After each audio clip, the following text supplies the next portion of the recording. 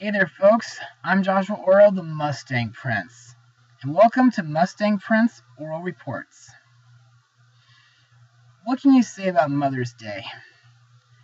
Well, it is a celebration honoring the mother of the family, as well as motherhood, maternal bonds, and the influence of mothers in society. But nowadays, to me, Mother's Day gets very frustrating when trying to find something very special to give my mom every year. Usually, I always get her the same thing, whether being flowers or jewelry, and it's starting to get very predictable. Because sometimes I think to myself, what better way to celebrate Mother's Day than, than just be there and spend time with her, rather than giving her things? Anyway, the last few blogs I made for the Mother's Day weekend was Pixar's Oscar champion Brave during my second season. And during my third season, no thanks to my deceased evil twin, I blogged the movie that destroyed Image Movers Digital, Mars Needs Moms. But, unfortunately, last year I didn't blog anything for Mother's Day because, well, you know why. But this year, I want to blog something really special that focuses on this motherly holiday. And I think I know just the movie to blog. So let's get started. Released on April 29th, 2016, the movie is Mother's Day. Now, let's get started. This movie follows the lives of different mothers on Mother's Day. Sandy is happily divorced until she finds out her ex-husband eloped with a much younger woman. Now she must learn to deal with big changes in her life as her two boys now have a stepmom. Sisters Jesse and Gabby get an unexpected surprise from their mom, who is not really happy to find out that Gabby is a lesbian, and Jesse is married to a man of color. Miranda doesn't have any kids and is focusing on her career. Kristin is enjoying life as a new mom, but is feeling pressure from her boyfriend to get married. And Bradley is trying hard to be the best parent for his two girls since their mom passed away a year prior. However, his idea of Mother's Day is pretending it doesn't exist at all. So, what do I think? Well, to me, this was a really sweet and heartwarming movie. I don't care if this movie was ever panned, because this is a good film to watch for the Mother's Day weekend. But, before I get ahead of myself, let's move on to Mustang Notes. In April 2013, Dennis Dugan confirmed that he would next develop Garry Marshall's comedy film, Mother's Day. Sadly, this was the final film of Marshall's career prior to his death in July 2016. The film was scripted by Anya Kochoff Romano and Lily Hollander. Brandt Andersen produced, along with Wayne Rice and Mike Karz.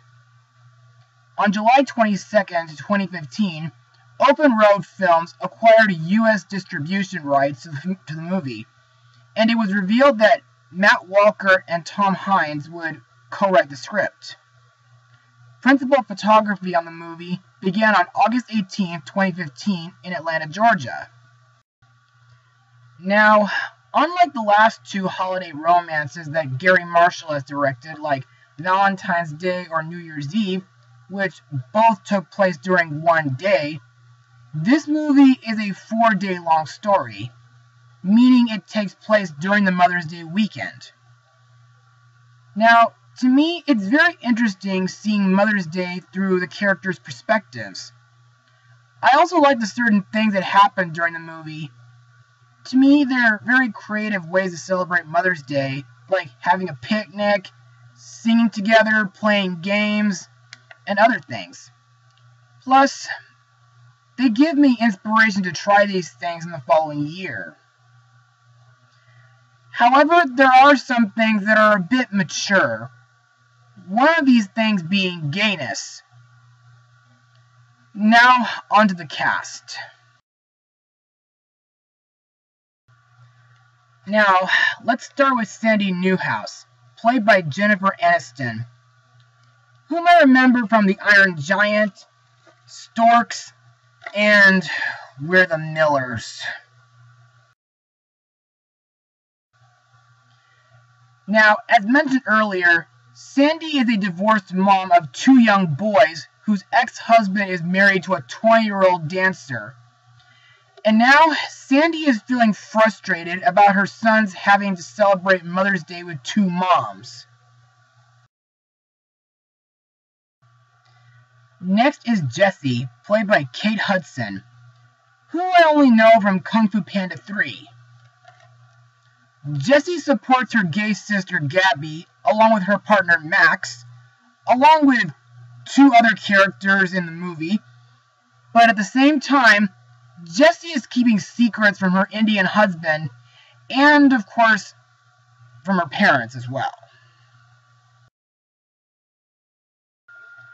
We also have Miranda Collins, played by Julia Roberts, who got to be in Valentine's Day, Charlotte's Web, and just recently, Smurfs, The Lost Village. Miranda is an accomplished writer who gave up her only child for adoption at birth. Throughout this movie, she's been advertising mood necklaces and bracelets. But I also think it's very sweet that she's been receiving pictures of her daughter each year. Next up is Bradley Barton, played by Jason Sudeikis, who got to be in Blue Sky's Epic, and of course that stupid Angry Birds movie. Bradley is a widowed father of two girls whose wife passed away a year prior. We learn that Bradley works at a 24 7 workout studio and is a soccer coach. Sometimes he's been watching memory videos that feature his late wife. And of course, he's been feeling unsure about his older daughter Rachel's relationship with her boyfriend. The last character I need to talk about is Kristin, played by Britt Robertson. She's Miranda's daughter, whom I mentioned earlier was left for adoption. In this film, Kristin prepares herself for marriage to her comedian boyfriend. Also, in my opinion, her baby daughter Katie is absolutely precious. The rest of the cast includes Robert Pine, Jennifer Gardner, Jon Lovitz, Timothy Olyphant, Jack Whitehall, Hector Elizondo, and Margo Martindale. And now let's move on my final words. Overall, Mother's Day is a decent film. Not perfect, though. But the characters from the mothers, the fathers, and their children are very relatable. Their stories are interesting and very touching, even if some parts are a tad inappropriate. Plus, this film does give a nice message about celebrating this beloved motherly holiday. And in the end, this film will make you shed a tear of joy. As for my final rating, I'll give this film a 71% out of 100. Well, that's it for today, everybody. Be sure to join me again for my next blog. Because I think next it'll be time to go back to Kingdom Hearts again. Mustang Power. Oh, and happy Mother's Day, everybody. My love here ever after is all that she says that she needs. A friend and companion I can always depend on. My mother, that's who I mean.